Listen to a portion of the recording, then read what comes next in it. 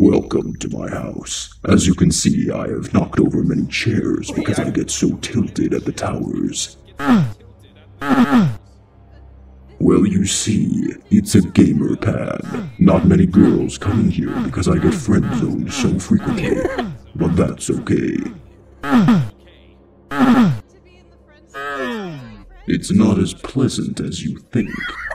They don't treat you like a friend. They treat you like an item. Sometimes I wish I could be more than just an accessory to these women.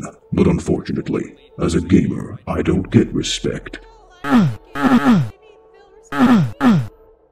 That just makes you a beta cuck. That's the difference between you and I, Great Slayer.